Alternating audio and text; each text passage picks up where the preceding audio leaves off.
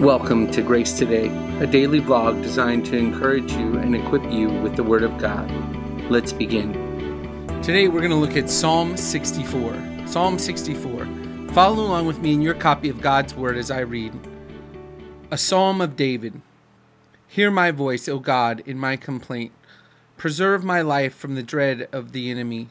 Hide me from the secret counsel of evildoers, from the tumult of those who do iniquity who have sharpened their tongue like a sword.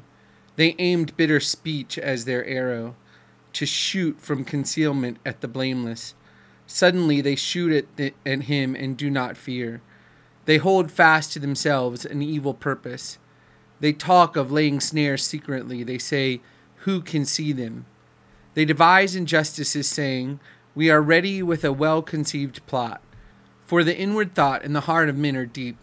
But God will shoot at them with an arrow. Suddenly they will be wounded. So they will make him stumble. Their own tongue is against them.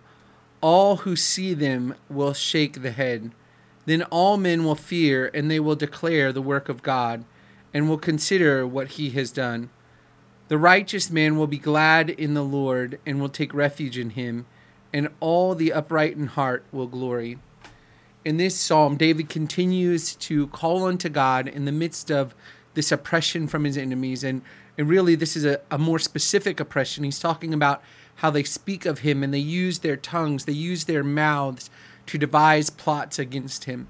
And he again appeals to the Lord for justice. And, and notice that again, he appeals for this justice for the sake of God's name, so that all men will know and fear the Lord. He's not primarily concerned with his own self, but that all men will know and fear the Lord. And then he affirms that the Lord is a refuge to those who are righteous, to those who are upright in heart. So again, we see David in the midst of this agony, in the midst of this trial, in the midst of this deceit of his enemies, he is appealing to the righteous character of God and expressing his trust in God to bring justice.